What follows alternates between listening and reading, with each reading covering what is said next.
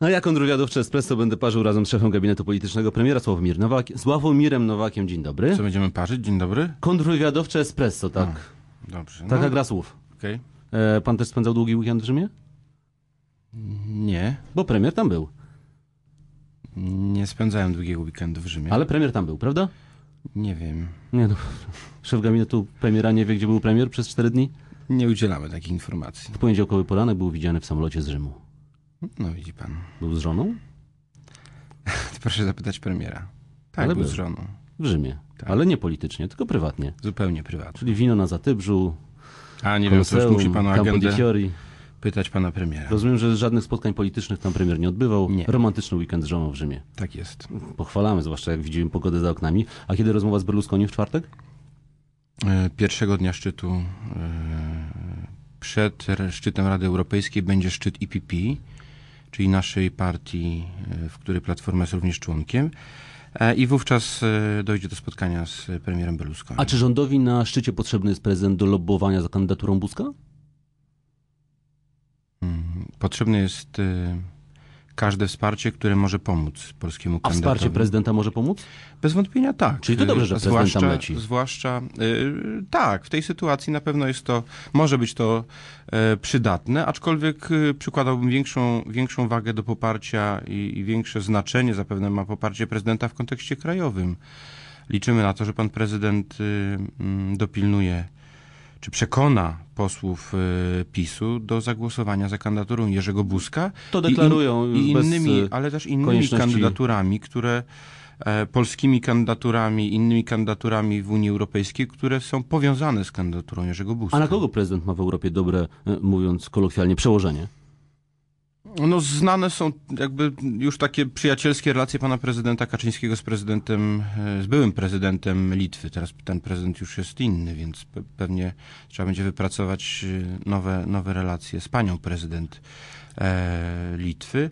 Ale pan prezydent ma z kilkorgiem przywódców europejskich. Może na Berlusconiego też ma dobry wpływ, bo prezydent się dobrze zna z Topolankiem, a Topolanek, jak wiemy, w willi Berlusconiego na gusieńko biega, więc kto wie, jakie tam zależności występują. Nie dam się panu redaktorowi namówić na tego rodzaju dywagacje. A spotkanie premier-prezydent kiedy?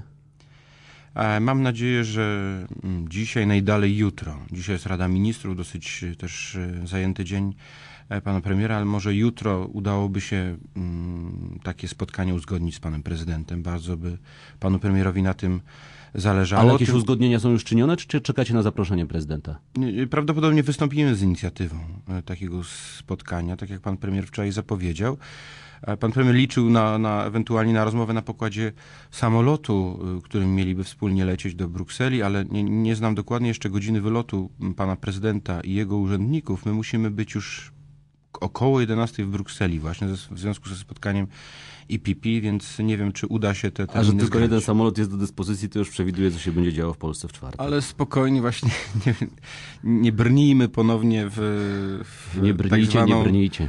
E, Dyplomację samolotową. dyplomację i tematykę samolotową. Redaktorze, nie brnijcie. Ministrze czy premier już po rozmowie z Danutą Hibner? Tak, wczoraj odbyło się spotkanie pana premiera z panią komisarz e, Hibner. Ustalono coś? Ustalono, że pani komisarz obejmuje mandat europosła Platformy Obywatelskiej. Czyli nie będzie komisarzem. Zrezygnuje z pełnienia funkcji komisarza. Kiedy? No, Ja nie wiem e, dokładnie, kiedy są tam ten... Znaczy nie, czy zrezygnuje lada Najpóźniej, chwila? najpóźniej, kiedy może, najpóźniej, kiedy może, jeśli chodzi o objęcie mandatu europosła, żeby nie nastąpiły komplikacje prawne. Wiem, że tu jest pewna, e, pewien spór, e, jeśli chodzi o interpretację przepisów polskich i europejskich w tym względzie. I musimy ten, ten, ten spór wyjaśnić, tak aby nikogo nie narażać na niepotrzebne stresy. I Danuta Hibner mówi tej e, ofercie, temu pomysłowi tak. Nie chcę już być komisarzem europejskim. Albo chce, ale godzi się na to, że będzie e, tylko i aż europosłem.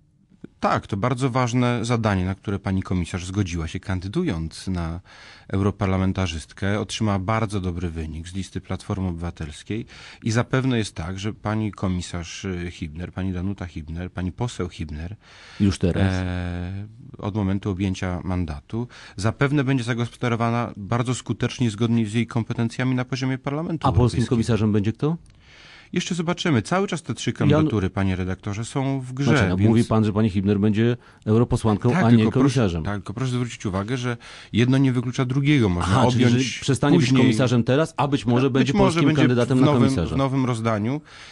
E, bo to jeszcze jest parę miesięcy przecież do, do ukonstytuowania się nowej Czyli nie, nie jest tak, zostało przesądzone, że to nie ona Nie, będzie komisarzem nie w przyszłości. Nie zostało to przesądzone. Cały czas na stole mamy trzy bardzo poważne kandydatury.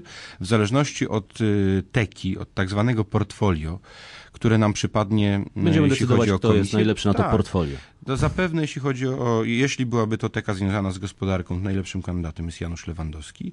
Jeśli byłyby to, jeśli byłyby to teki związane z dotychczasową problematyką, którą zajmowała się pani komisarz Hibner, to prawdopodobnie byłaby to pani komisarz Hibner. A jeżeli jakaś inna jeszcze teka, bardziej pasująca do Jacka Sariusz-Wolskiego, to byłby Jacek Sariusz-Wolski. Ale Sławomir Nowak na pewno nie będzie komisarzem. Niech pan nie żartuje. A jak premier wrócił z tego, że mu bardzo krzyczał?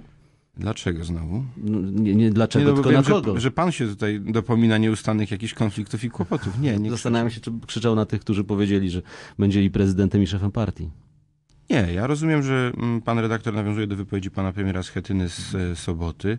Jakże było- pan domyślny. Tak, dokładnie, do tych wypowiedzi. Widzi pan, czasami mi się też udaje.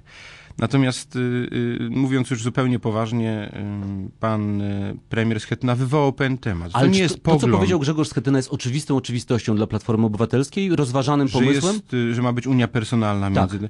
Nie, nie jest to rozważany pomysł. Była to pewna swego rodzaju prowokacja intelektualna, tak bym powiedział, aby również wywołać ten temat, bo proszę zwrócić uwagę, że dzięki temu przynajmniej ktoś się zaczął zajmować e, modelem, który wprowadził Lech Kaczyński. Niebywale upolitycznionej e, prezydentury, którą u, usprawuje, a nie mając y, już legitymacji partyjnej. Panie Co ministrze. z tego, nie, jedno zdanie tylko, co z tego, że prezydent Lech Kaczyński w dniu wyboru ogłosił, że przestaje być członkiem e, PiSu, jak dalej jest liderem nawet w kampanii wyborczej No, ale widzi pan, jakie ma sondaże, to może to nie są dobre wzorce O, do powielania. tak, nie idźcie ale- tą drogą może, ale panie ministrze. no, Niech pan nie zaklina rzeczywistości. Nikt nie powiedział, że tam mamy iść.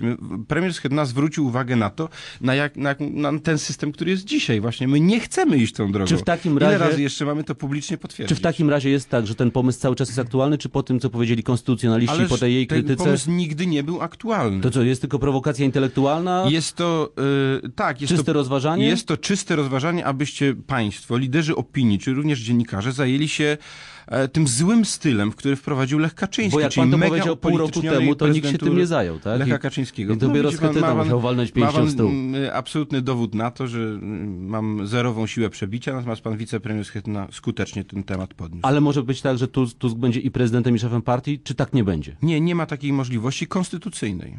Czyli dzisiaj już stwierdzacie, że nie ma. A Grzegorz Schetyna jeszcze w sobotę nie był tego pan, ale niech pan przesłucha dokładnie jeszcze raz ten wywiad. Tam sam e, redaktor e, wprowadził pana premiera w błąd, mówiąc, że jest to też możliwe. I to była raczej luźna dyskusja, ale dyskusja o modelu prezydentury. E, bo można sobie wyobrazić każdy model. Też mogę z panem teraz roz, rozpocząć rozmowę, na co nie mamy czasu, bo pan macha na mnie ołówkiem. To już będziemy to robić poza anteną, bo czas nam się zdecydowanie E, Ale kończy. prezydentura francuska jest taka, gdzie się łączy te funkcje na przykład. Sławomir ale w Nowak, Polsce nie jest to dziękuję możliwe. bardzo. Dziękuję bardzo. Dziękuję.